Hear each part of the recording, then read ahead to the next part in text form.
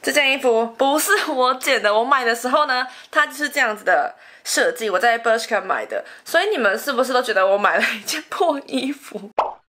？Hello，大家好，我是猫，欢迎回到我的频道，OK 的，猫猫 TV 达到三十万人订阅了，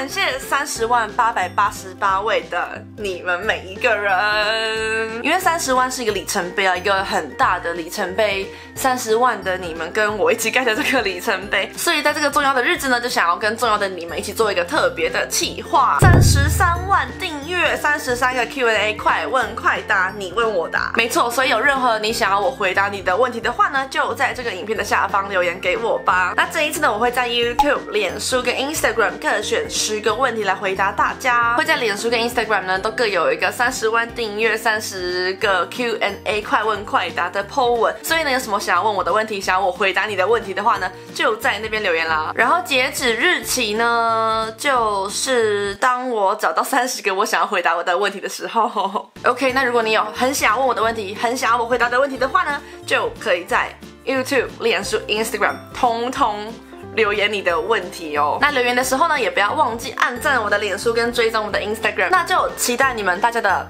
问题啦。我是既期待又怕受伤害啊。然后今年呢，因为我开始跟我一个很好的马来西亚朋友炫，他开创的 Cool Japan TV 开始正式合作，所以从下半年开始呢，你就会看到很多我跟 Cool Japan TV 的活动啦。对，今天就是非常简短的，就先这样子啦。那在你按右上角叉叉或是左上角叉叉的时候呢，不要忘记先按这影片跟订阅啦。那我就很快的、很快的在下一集会跟你见面喽，拜拜。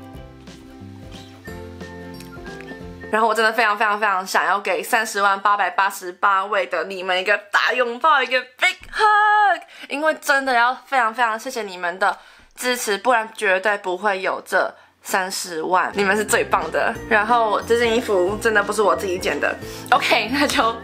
我们下一集见，很快见，拜拜。记得要在 YouTube 还有去我的脸书跟 Instagram 留言哦。